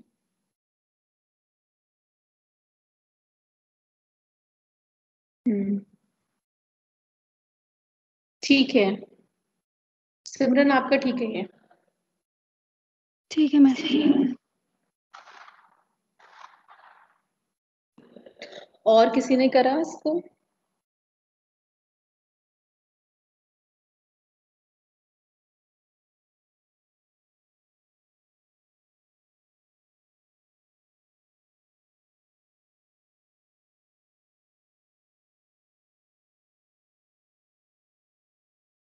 चलिए, इतने खाली में वैल्यूज़ रख लेती हूँ। इतने आप बताइए कि हुआ है कि नहीं हुआ है। हमें लिखना है c cos pi plus p upon ये सी स्क्वायर से सी कैंसिल हो जाएगा तो नीचे आएगा one plus cos pi into v upon c to whole square plus c sine pi under root 1 minus v square upon c square upon 1 plus v cos phi upon c का whole square आप में नीचे वाला term common है, इसको आप बाहर ले सकते हैं स्क्वायर है तो one plus v cos phi upon c बाहर कॉमन हो जाएगा और ये अंदर आपका हो जाएगा c cos phi plus b का होल स्क्वायर और दूसरी टर्म हो जाएगी c sine phi under root one minus b square upon c square का होल स्क्वायर इसको सॉल्व करना है और आपका आंसर लास्ट में सी स्क्वायर आ जाएगा। अगर किसी को दिक्कत हो रही है स्क्वायर खोलने में या सॉल्व करने में बता दीजिए, फिर नहीं तो फिर मैं इसको यहीं पे छोड़ देती हूँ। क्या करेंगे? C cos phi plus v का होल स्क्वायर ओपन करेंगे तो ये आएगा c square cos square phi plus v square plus two v c cos phi और जब हम इधर इसका स्क्वायर ओपन करेंगे सी तो ये आएगा c square sine square phi और ये अंडर रूट हट जाएगा। ये आएगा one minus v square upon c square चाहे तो यहाँ पे हम सी स्क्वायर का एल्सियम ले लेंगे, वो इस सी स्क्वायर से कैंसिल हो जाएगा। तो उसके बाद मुश्किल से तीन या चार स्टेप रह जाएँगे। ठीक है सॉल्व करेंगे तो आंसर आ जाएगा। मास ऑफ़ ऑब्जेक्ट है, इतने टाइम्स ऑफ़ स्ट्रेस्ड मास तो क्वेश्चन में m equal to 2.25 times of m naught दिया है तो वेरिएशन ऑफ़ मास से हो जाएगा ये क्वेश्चन ठीक है वेरिएशन ऑफ़ मास होता है m equal to m naught upon under root one minus v square upon c square और m naught upon m equal to हो जाएगा under root one minus v square upon c square square करेंगे इसका तो one minus v square upon c square equal to m naught upon m का whole square और v square upon c square equal to one minus m naught upon m whole square ठीक है, यहाँ से आप इसको सॉल्व करेंगे तो v equal to under root one minus m naught upon m to whole square into c values put करिएगा answer आ जाएगा सेम ये क्वेश्चन इस तरीके के कई हैं। क्वेश्चन है मैन वाला है अ मैन वेट इन अर्थ अर्थ पे इसका वेट दिया है मतलब एम नॉट दिया है। When he is in rocket ship in flight his mass will be 50.5 kg. M given है measured by observer on earth speed पूछिए। ठीक है सेम वेरिएशन ऑफ़ मास का क्वेश्चन है. एम नॉट और एम दिया है वैल्यूज़ पुट करेंगे और बी आ जाएगा आपका. ये भी हो गया होगा क्वेश्चन यस मैम हो गया. है ना? यस मैम हो गया. हाँ फिर नेक्स्ट क्वेश्चन देखिए ये वाला भी इजी है. What will be the length of metre stick metre stick है moving parallel to its length its mass is 3 by 2 times of its rest mass ठीक है? तो लेंथ पूछी है मीटर स्टिक की। जब वो मूव कर रहा है और गिवन है हमें कि m जो है three by two times of m naught हो जाता है। तो पहले वेरिएशन ऑफ़ मास से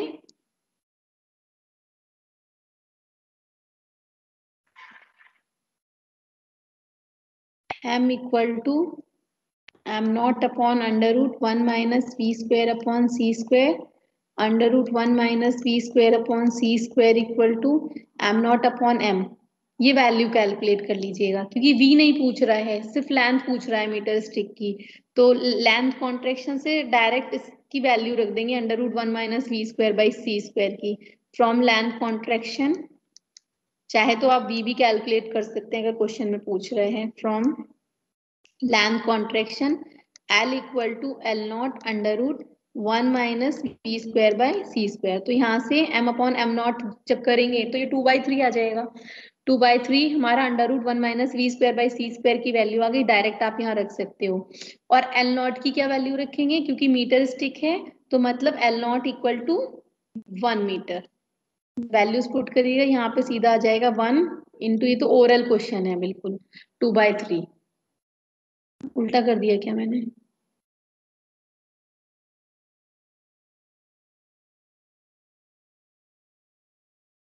नहीं ठीक हो गया ना? हम्म। सही है मैम। है ना? चलिए फिर नेक्स्ट क्वेश्चन करते हैं। How fast must an electron move in order ये भी हो जाना चाहिए। इसमें आप मुझे बताओ एम कितना है और एम नॉट कितना है? ये अच्छा क्वेश्चन है।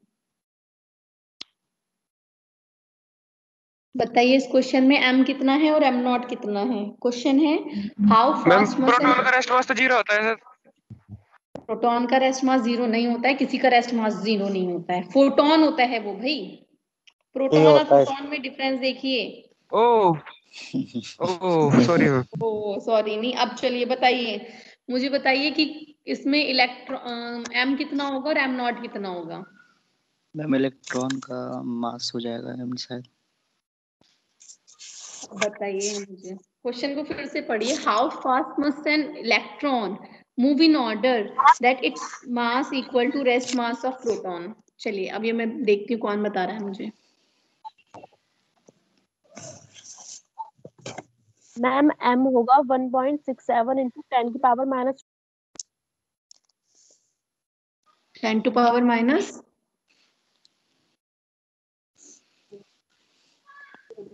twenty seven minus twenty seven ठीक है. एम इतना हो जाएगा. और एम नॉट प्रोटॉन का मास प्रोटॉन का तो मास बोला ही है अभी साक्षी ने. हाँ साक्षी बोलो तुम बोलो मैं सुन रही हूँ. Ma'am nine point one one into ten की power minus thirty one K G ये क्या होगा आपका? एम नॉट एम नॉट हाँ ठीक है। चलिए अब क्वेश्चन फिर से सुनते हैं। देखिए क्या कहा। कह रहा है इलेक्ट्रॉन है। इलेक्ट्रॉन मूव कर रहा है तो रेस्ट मास किसका होगा? इलेक्ट्रॉन का। तो इलेक्ट्रॉन यानी कि m naught m naught electron का कितना होता है?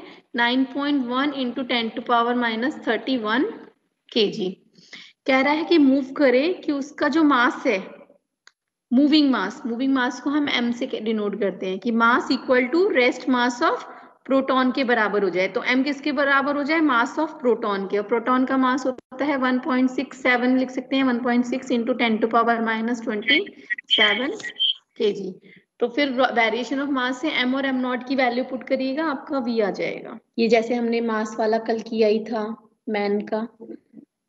फिर लेंथ वाला मैंने आपको बोला भी था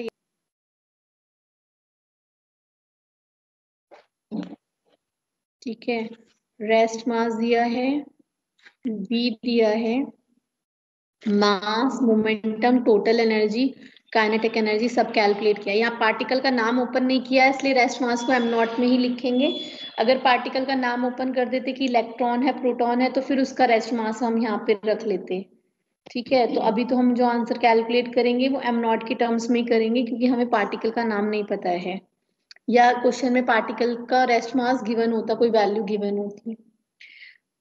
तो पहले मास कैलकुलेट करना है तो from variation of mass from variation of mass m equal to m naught upon under root 1 minus v square upon c square ठीक है? यहाँ से m आ जाएगा आपका। M नॉट की जगह m ही रखेंगे v की जगह c बाय रूट टू रखेंगे, इसको सॉल्व करेंगे तो ये हमारा रूट टू एम नॉट आ जाएगा। मोमेंटम होता है p equal to mass in motion into velocity तो एम एम कैलकुलेट कर चुके यहाँ वैल्यू रखेंगे बी गिवन है, यहाँ से वैल्यू रखेंगे, आपका पी भी आ जाएगा।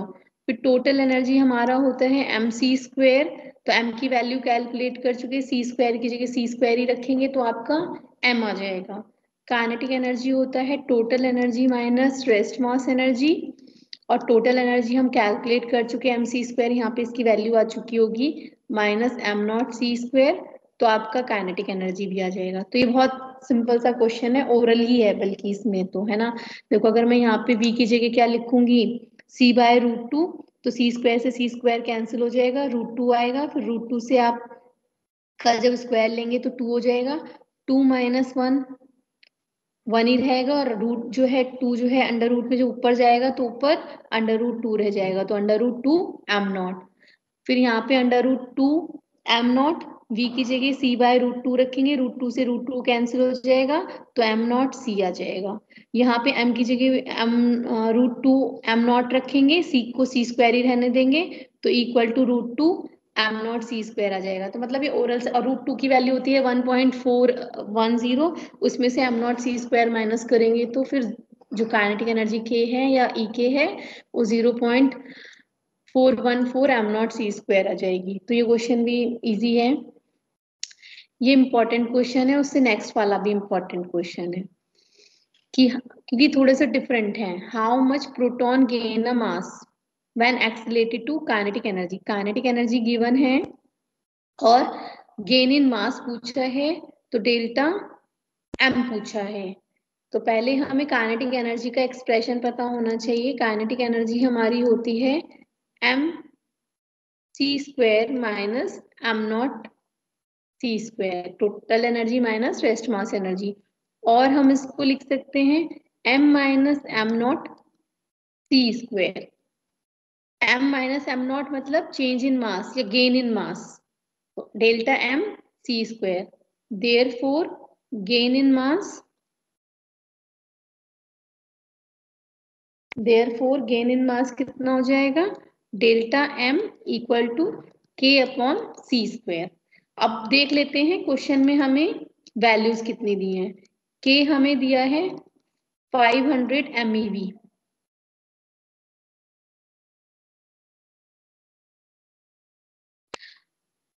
ईवी में लिख सकते हैं इसको 500 hundred into ten to power six eV और हमें मास केजी में चाहिए तो इसको हम जूल में चेंज कर लेंगे तो ten to power six into one point six into ten to power minus nineteen joule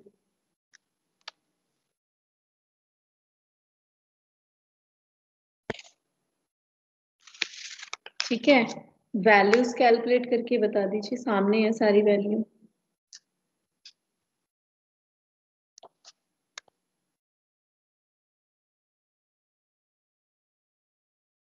के की जगह रखेंगे 500 hundred into ten to power six इसको अगर आपने सॉल्व कर लिया हो तो देख लीजिए कितना आ रहा है। Upon c square ten to power eight इतना आ रहा है? Eight point eight nine into ten to power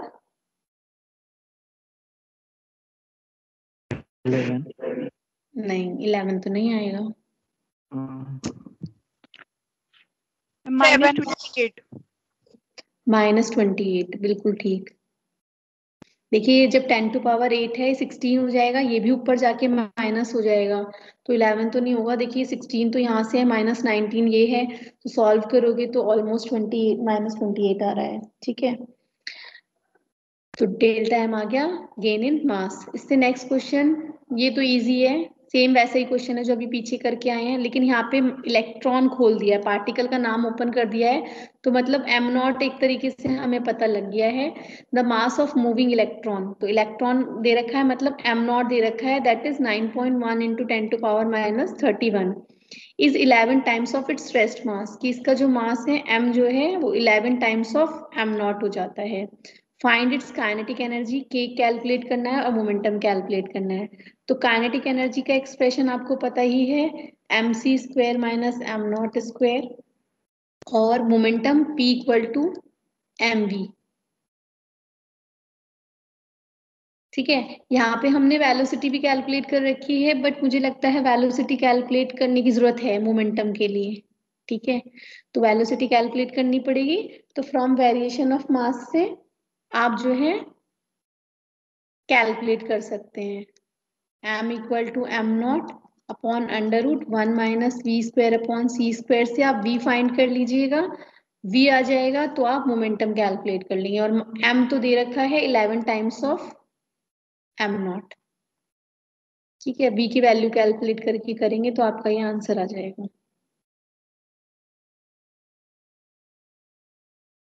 इससे नेक्स्ट क्वेश्चन देखते हैं हम।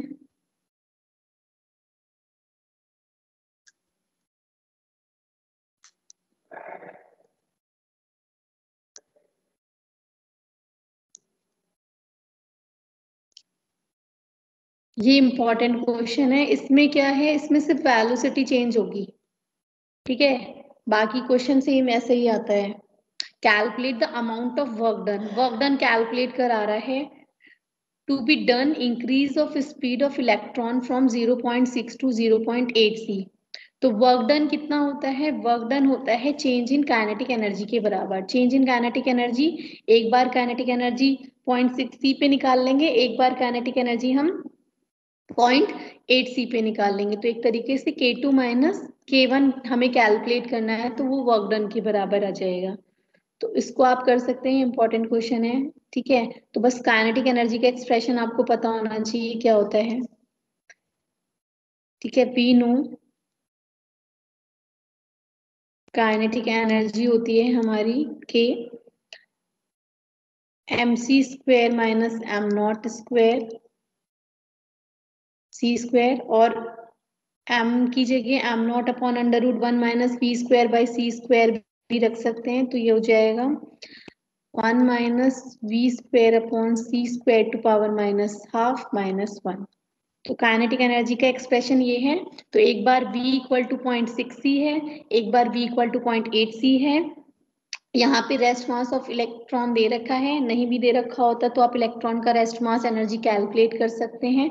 रेस्ट मास एनर्जी का फॉर्मूला होता है।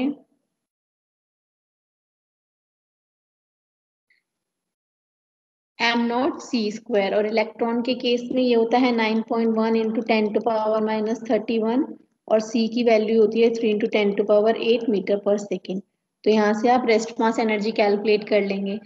वैसे भी यहाँ पे जूल में कर रखा है, क्योंकि जब हम इसमें रखेंगे तो जूल में रखना पड़ेगा। इस एम को भी आपको जूल में कन्वर्ट करना पड़ेगा तो जूल में कन्वर्ट करना आपको आता ही है। कैसे करते हैं? 1.6 point six into ten to power minus nineteen से मल्टीप्लाई कर देंगे, ठीक है? और एम को पहले ईवी में कन्वर्ट करेंगे। तो रेस्ट मास जी चाहे इस फॉर्मूले से कैलकुलेट कर लीजिए। तो एक बार काइनेटिक एनर्जी क्या करेंगे? Kinetic energy at v equal to zero point six c पे एक एक्सप्रेशन निकाल लेंगे। दूसरा expression kinetic energy at v equal to zero point eight c पे निकाल लेंगे। इसको k1 कहेंगे, इसको k2 कहेंगे और दोनों को सब्ट्रैक्ट करके हम वर्क डन निकाल लेंगे। तो मुझे बताइए कितना आ रहा है वर्क डन या के वन कितना आ रहा है और के टू कितना आ रहा है? फॉर्मूला मैंने सामने आपको लिख ही दिया है। चाहे ईवी के टर्म्स में निकाल लीजिए, मुझे कोई दिक्कत नहीं है। आप क्या करिए एम नॉट सी स्क्वायर या के वन ई वी की टर्म्स में निकाल लीजिए, ठीक है?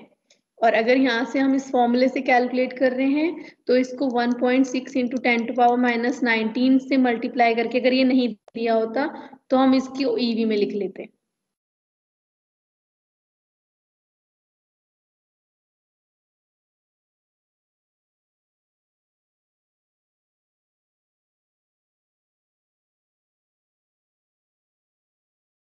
के वन और के टू बताइए मुझे कितना आ रहा है। ये लास्ट क्वेश्चन है, उसके बाद तो फिर अगर कोई प्रॉब्लम है, वही डिस्कस करेंगे। और कल हम जीपीएस करके इस यूनिट को कंप्लीट करेंगे और कोई प्रॉब्लम है, वो नोट डाउन करके लाइएगा, वो डिस्कस करेंगे। नहीं तो फिर हम उसके बाद सेकेंड यूनिट स्टार्ट करेंगे परसों से मतलब सैटरडे से। के वन और के टू कैलकुलेट करके बताइए कितना आ रहा है।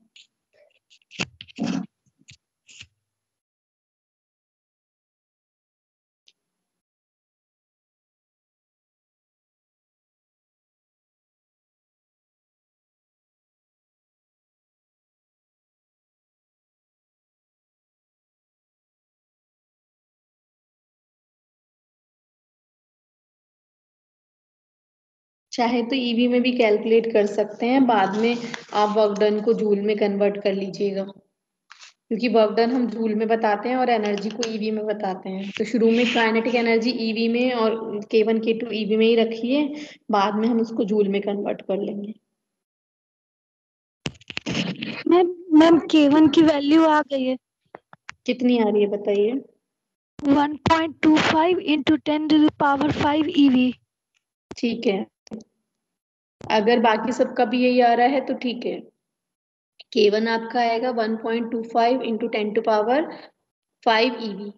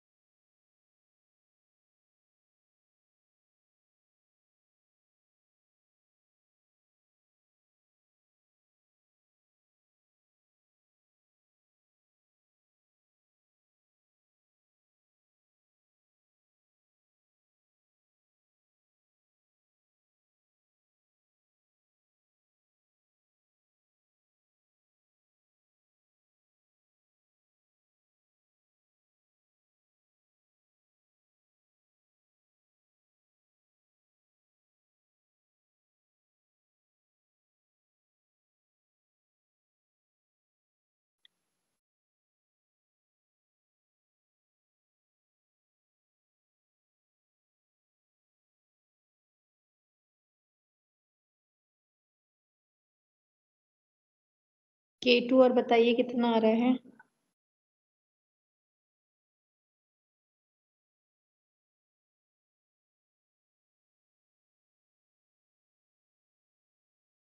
पहले क्या करिए, इस वाली वैल्यू को कैलकुलेट कर लीजिए, है ना? और फिर बाद में एम नॉट सी स्क्वायर से मल्टीप्लाई कर दीजिएगा जो इसकी वैल्यू है।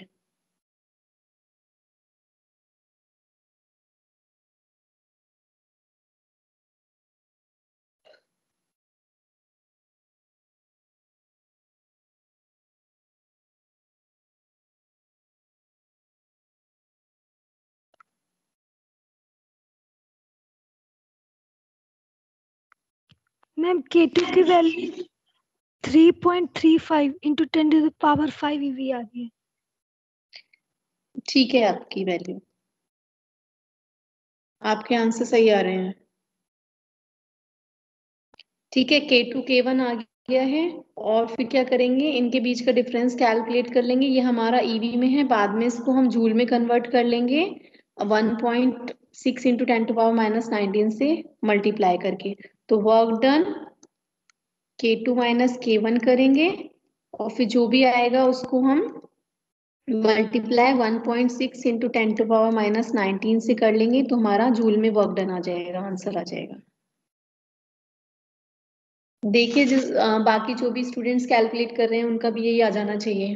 ठीक है अब देखिए यहाँ पे सीधा सीधा दिख रहा है three point two three five minus one point two five करेंगे तो ये almost two point one two point one आ जाएगा। Two point one into ten to power five ठीक है, जब इसमें से ये मैं माइनस करूँगी तो ये आएगा two point one into ten to power five into one point six into ten to power minus nineteen और इसको सॉल्व करके बताइए फिर कितना आ रहा है।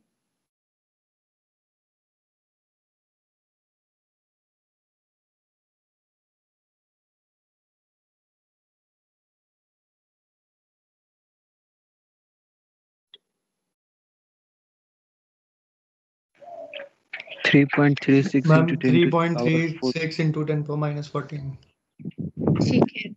तो ये आपका आएगा three point three six into ten to power minus fourteen joule ठीक है? तो वर्क डन कैसे कैलकुलेट किया? वर्क डन होता है चेंज इन काइनेटिक एनर्जी के बराबर। चेंज इन काइनेटिक एनर्जी कैसे निकालेंगे? पहले हमने एक काइनेटिक एनर्जी वेलोसिटी v1 पे कैलकुलेट कर ली। फिर दूसरी काइनेटिक एनर्जी हमने v2 पे कैलकुलेट कर ली और दोनों के बीच का डिफरेंस कैलकुलेट करके हमने वर्क डन कैलकुलेट कर लिया। तो ये क्वेश्चन इंपॉर्टेंट है कई बार आया हुआ है। इसके अलावा अभी कोई और क्वेश्चन हो जो डिस्कस करना हो तो कर लेते हैं। अदरवाइज़ हमारे सारे क्वेश्चन हो चुके हैं जितने भी ट्यूटोरियल शीट में है ठीक है? तो बताइए। मैम क्वेश्चन नंबर सेवन ऐसे मुझे नहीं पता है लैंग्वेज बोलिए। Ma'am so by means of Lorentz transformation equation that x square minus c square t square equals to x square minus c square t square वो हम लोगों ने ऑलरेडी जब मैंने आपको लॉरेंट ट्रांसफॉर्मेशन इक्वेशन कराया था, उसके क्वेश्चन कराए थे ना तो ऑलमोस्ट सेम वैसा एक न्यूमेरिकल मैंने आपको कराया था। ठीक है, वो क्वेश्चन सेम वही है।